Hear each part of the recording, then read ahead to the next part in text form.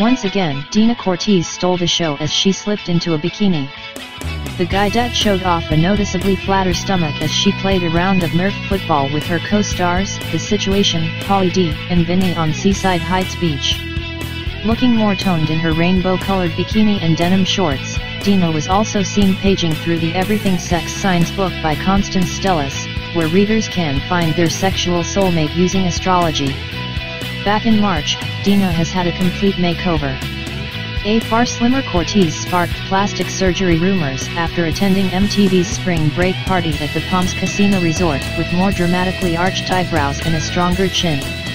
I actually had a nose job, the 25-year-old confessed to page 6 last August when asked if Jenni JWoww Farley had gone under the knife. According to the New York Post, Deena's attitude towards plastic surgery was more power to you. Meanwhile Deena may have already found her soulmate in her boyfriend Chris Buckner, who has already met her parents. Not much is known about Chris aside from him reportedly playing wide receiver for the Freehold Township Patriot High School football team. She's shared numerous photos of her and Chris looking cozy, tweeting in love and he's my world to her 1.2 million followers last month.